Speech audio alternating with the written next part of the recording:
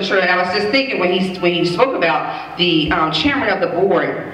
Of course, we know the chairman of the board is Christ. God is the head of the marriage, the family, because he instituted the marriage. Just as the chairman of the board would be for a company. And so he is a silent witness when you think God isn't looking, when you think God isn't there, when you think he hasn't showed up or he's not there in the midst of your situation and your circumstance, he's like, I'm omnipresent. I'm right there in the midst of that thing. And so as she even talked about it earlier, we have to know that if, listen, marriage without God don't work. Marriage without God does not work. So you can see them on the on the, in the limelight and, and sitting up on the hill and the houses in the hill and, and living that life. But let me tell you, it's only temporary.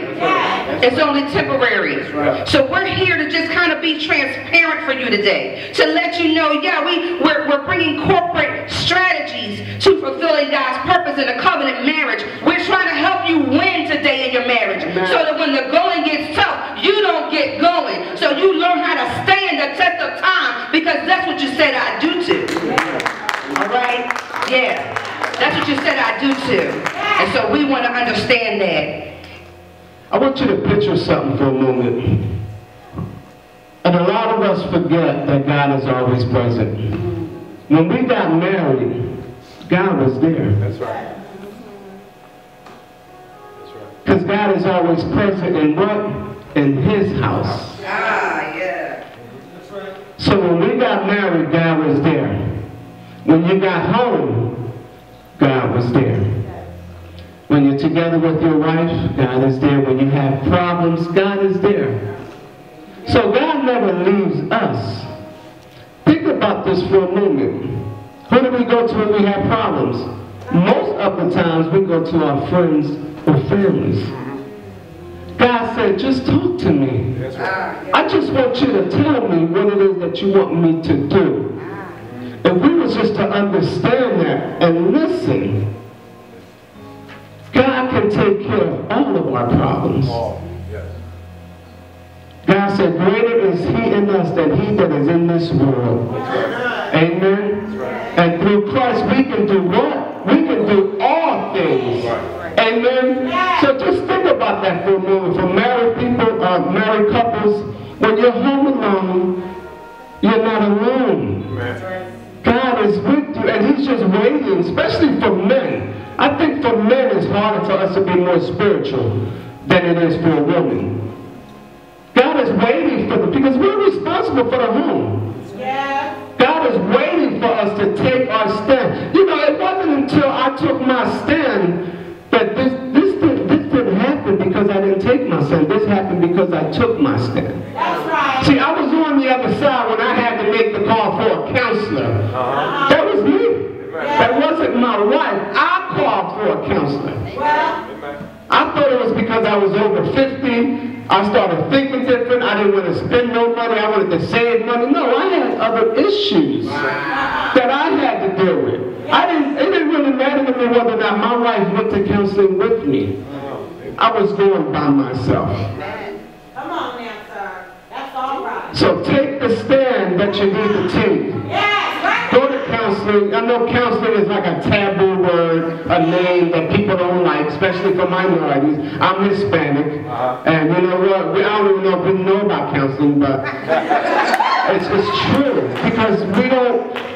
It's so different with the way I was raised. I was raised Catholic, but it's just so different. You know, we, we, we, we, we look at the example of our mother and father, uh, but it's not too much outside of that. That's right. Amen. So it is different in that respect. But I just, you know, want to talk to the men. I want you to be more spiritual, be more conscious of where God is. Because God is everywhere. God is with you. Everything that you do, every decision that you have to make. Speak to God about it. Talk to God about it.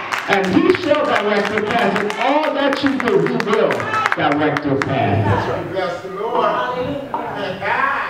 You know, sometimes we, um, even being up here, you have to you have to just know who's for you. And you got to do planning, you got to do preparation, and you got to do all of those things. But understand, even as the president and the vice president, as the head of the house and the president of the Marriage Corporation, it was our upbringing. As Deacon Richard said earlier, it was our upbringing that began, you know, our schooling, our parents, what they instilled in us, what they showed us, what they modeled before us. So I, I remember um, the man of God was here not long ago, and I remember him saying, stop blaming everything on generational curses. Understand that you have the power to control your own atmosphere.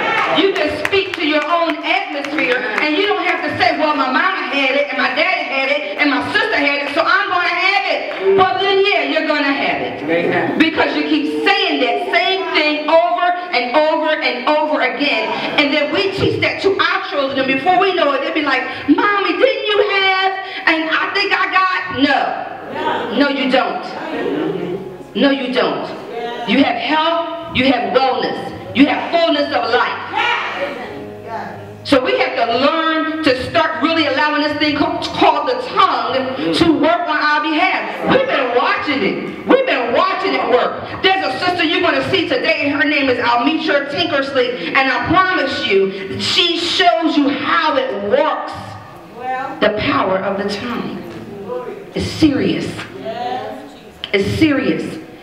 Take your finances from a zero and bring it up to nothing. Bring it up to something when you didn't have nothing. Watch your words over your own life. Watch what you're speaking over your own marriages. Watch what you're saying about your own relationship and your person. And yes, learn to look in the mirror and encourage yourself sometimes. Because we got to rise above people. We're in a new year. This is just the first quarter. We haven't even touched the surface. We're just in the second month of a new year. Hallelujah. Gracias. How are you seeing it? That's right. How are you seeing your year? How are you seeing your year? Listen, God established roles. There's roles within marriage. There's roles in this thing called the relationship. Y- yes. You know, there is a husband, there's a wife, and, and if you're blessed and, and, and, and if God chose to see fit, then there's children. What are you teaching them? What are you modeling before them? Well, I want you uh, to write this down. Well, I'm going to give you a script, couple scriptures, but now I'm going to give you Amos 3 3. Can two walk together lest they be agreeable? It's important in your marriage. It's important in your marriage. Amos 3 3. Can two walk together unless they be agreeable? Listen, in your home, you have an accounting department in your home. We're going to talk about the departments in the home. Uh, write this down. You have an uh, accounting department in your home. Who's responsible for the accounting department in your home? It's just like corporate. It's just like corporate. Some people are doing the responsibilities of the accounting department, but it's really, is that your qualifications? Do you qualify to take care of the bills in your home? To write the checks? The budget? Do you qualify for that? That's something you have to ask, ask yourself. If you do not qualify, then you shouldn't be doing it. Get training. Now, and I'm going to give you an example. When I first got married to my wife, I didn't write checks. Mean, my mother and my father took care of everything. They, they, they, they took care of us.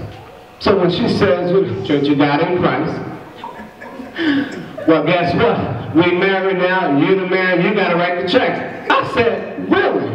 I don't know how to write checks. And I was being honest. I did not know how to write checks. This is 28 years ago. And I said, well, you know what? I'll try. So I had a whole lot of bounce checks going on.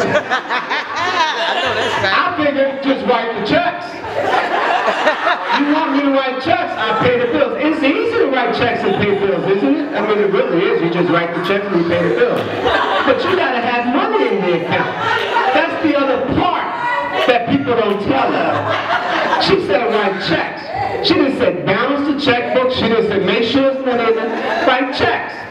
So it's important that you understand the process of, of the accounting department. go ahead, sir. Okay, it's so important that you understand that. You know, that accounting department really runs that house future. That's right.